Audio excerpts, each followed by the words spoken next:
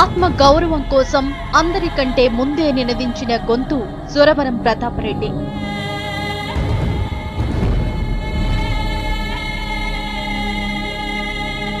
జీవితకాలంలో సురవరం చేసిన నాలుగు దశాబ్దాల సాహితీ సేవ మహోన్నత శిఖరం లాంటిదే.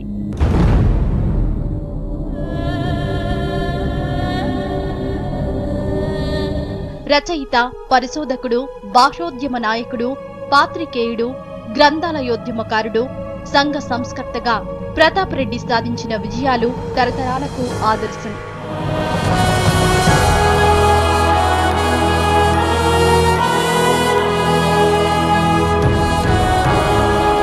పద్దెనిమిది వందల తొంభై ఆరు మే ఇరవై ఎనిమిదిన మహబూబ్ నగర్ జిల్లా గద్వాల సంస్థానం ఇటిక్యాల పాడులో సురవరం ప్రతాప్ రెడ్డి జన్మించారు. తండ్రి చిన్నప్పుడే చనిపోవడంతో చిన్నాన రామకృష్ణారెడ్డి సురవరం సంరక్షణ బాధ్యతలు చూశారు. ఏబిఎం మిషనరీ పాఠశాలలో ప్రాథమిక విద్యను హైదరాబాద్ నిజాం కాలేజీలో ఉన్నత విద్యను పూర్తి చేశారు.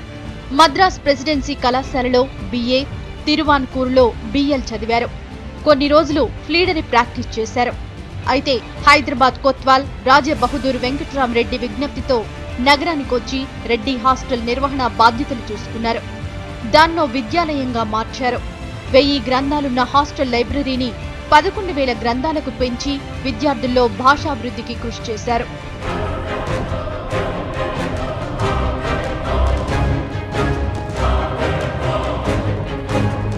మద్రాసులో చదువుకోవడంతో ప్రతాప్ రెడ్డిపై జాతీయ ఉద్యమ ప్రభావం ఎక్కువగా ఉండేది.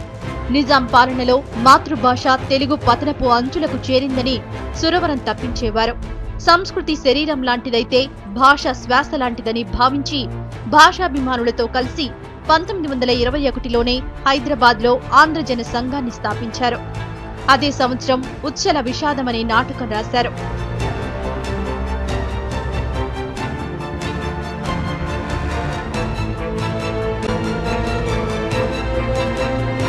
కొత్వాల్ రాజ్ బహదూర్ వెంకట్రామరెడ్డి మాడపాటి హనుమంతరావు ప్రోత్సాహంతో పంతొమ్మిది వందల ఇరవై ఆరులో గోలకొండ పత్రిక స్థాపించారు.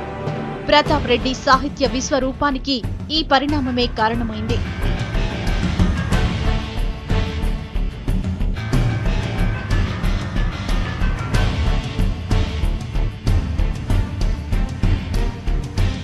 గోలకొండ పత్రికతో తెలుగు భాష సాహిత్యోద్యమానికి ప్రతాప్ రెడ్డి మళ్ళీ ప్రాణం పోశారు. ఉర్దూ అధికారిక భాషగా ఉన్న ఆ కాలంలో తెలుగు చదివిన సబ్ ఎడిటర్లు ప్రూఫ్ రీడర్లు లేకపోవడంతో సంపాదకుడి నుంచి చప్రాసి వరకు అన్ని బాధ్యతలను సురవరమే చూశారు.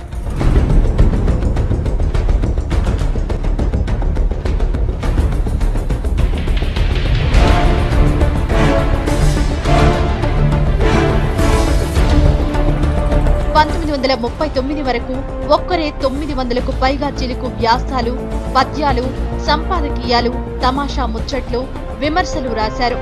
భవకవి రామమూర్తి చిత్రగుప్త వెర్రి వెంగళప్ప లాంటి మారుపేర్లతో ఆయన రాసిన రచనలు సాహిత్య ప్రియుల మనసు దోచాయి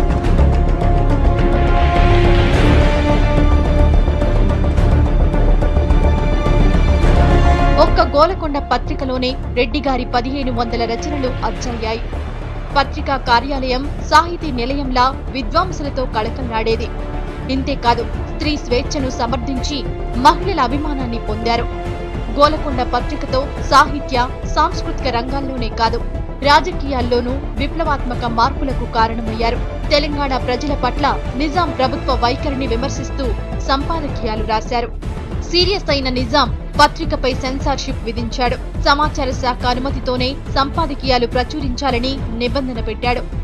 దీంతో ప్రపంచ మేధావుల సూక్తులను సేకరించి సంపాదకీయానికి బదులుగా ప్రచురించి నిజామును పరేషాన్ చేశారు.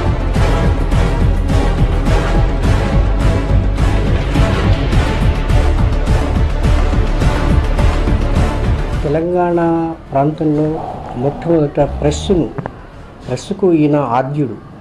ఈయనతోనే తెలంగాణలో గోలకొండ పత్రిక మొట్టమొదటిసారిగా అవతరించింది.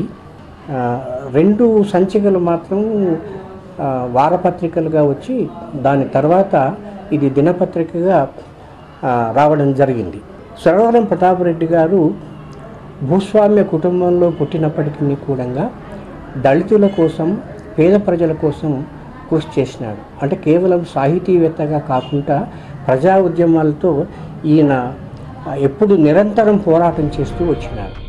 తెలంగాణలో కవులే లేరన్న కోస్తాంధ్ర కవి ముడంబ వెంకట రాఘవాచార్యుల వెక్కిలింత ప్రతాపరెడ్డిలో పౌరుషాన్ని రగిల్చింది. తెలంగాణ సాహిత్య మాగాణంలో విరగబూసిన కవిత్వాన్ని ప్రపంచానికి చూపించాలనుకున్నారు. మారుమూల ప్రాంతాల్లోని కవులను వెతికి కవితలు రాయించారు. పూర్వ కవుల జీవిత విశేషాలను వారి సాహిత్యాన్ని సేకరించారు. తెలంగాణలో కవులకు సాహిత్యానికి ఢోకా లేదని నిరూపిస్తూ మూడు వందల యాభై మంది కవుల రచనలతో గోలకొండ కవుల సంచిక అనే సంకలనాన్ని పంతొమ్మిది వందల ముప్పై నాలుగులోనే ప్రచురించారు. ఇంతేకాదు వర్తమాన పండితుల కోసం విజ్ఞాన వర్ధని పరిషత్ స్థాపించారు.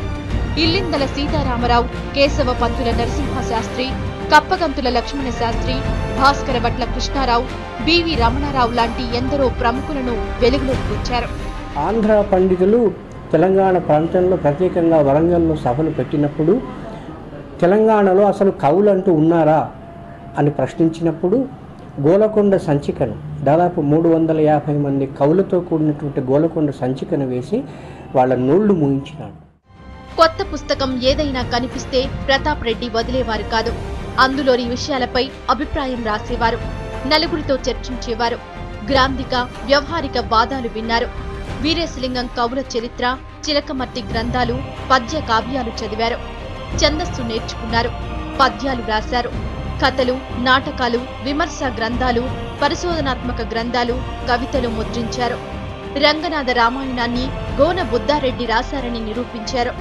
తిక్కన భారతం దశకుమార చరిత్ర గాథ సప్తసతి జైన రామాయణంపై సురవరం రాసిన వ్యాసాలు పండితులను మెప్పించాయి. భక్త తుకారాం నాటకాన్ని ప్రతాప్ రెడ్డే ముందు రాశారు. రెడ్డి గారి రచనలు లేకుండా నాటి పత్రికలు వచ్చేవి కావు. సురవరం రాసిన నిరీక్షణ కథానిక హిందూ ఉర్దూ పార్సీ కన్నడ మరాఠీ భాషల్లోకి అనువాదమైంది. ప్రతాప్ రెడ్డి రాసిన ఆంధ్రుల సాంఘిక చరిత్రకు కేంద్ర సాహిత్య అకాడమీ అవార్డు లభించింది. తన రచనల్లో తెలంగాణ మాండలికాన్ని భద్రపరిచి ఎన్నో పదాలను ప్రతాప్ రెడ్డి కాపాడారు.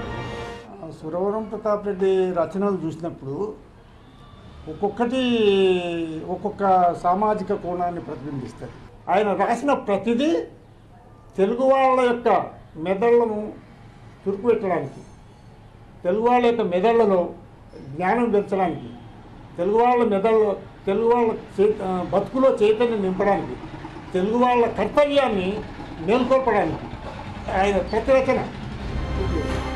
రాజకీయాలకు దూరంగా ఉండే ప్రతాప్ రెడ్డి సన్నిహితుల బలవంతంతో పంతొమ్మిది వందల యాభై రెండులో జరిగిన తొలి ఎన్నికల్లో వనపర్తి శాసనసభ నియోజకవర్గం నుంచి హైదరాబాద్ అసెంబ్లీకి ఎన్నికయ్యారు. ఆగస్టు ఇరవై ఐదు పంతొమ్మిది వందల యాభై మూడున సురవరం చనిపోయారు. ఆయన చేసిన సాహిత్య సేవను గౌరవిస్తూ ట్యాంక్ బండ్పై ఆయన విగ్రహాన్ని ప్రతిష్ఠించారు.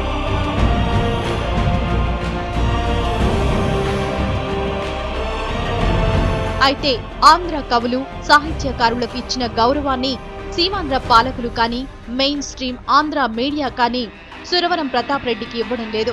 వీరేశలింగం శ్రీశ్రీ జాషువాలకు జయంతి ఉత్సవాలు జరిపే ఆంధ్ర సాహిత్యకారులు తెలంగాణ వైతాళికుడు ప్రతాప్ రెడ్డిని తగు రీతిలో గౌరవించరు. సంస్థానాల కృషి కాదు ప్రజల కృషి మనం చూడాలి. ప్రజల చరిత్రను ప్రజల ఆచార వ్యవహారాలు ప్రజల ఉత్పత్తి వ్యవస్థలు ప్రజలు ఎట్లా జీవించినారో జనం పాటల నుంచి జనం జీవితాల నుంచి తీసుకోవాలని రాజుల వైపు నుంచి కాకుండా ఆయన ప్రజల వైపు నుంచి చరిత్రను పరిశీలించిన మనిషిగా మొత్తంగా చరిత్ర రచన కోసం ఒక మార్గాన్ని వేసినటువంటి మనిషిగా ఆయన మనం గుర్తించవచ్చు ఇప్పటికి కూడా ఆయన కొనసాగించిన ఆయన ప్రారంభించిన కృషిని ఇప్పటికి కూడా కొనసాగించవలసిన అవసరం ఉంది. ఒక అద్భుతమైన చరిత్రకారుడు తెలంగాణ వైతాళికుడు ప్రజలందరూ గుర్తించదగ్గ గర్వించదగ్గ మనిషి సురవరం ప్రతాపరెడ్డి.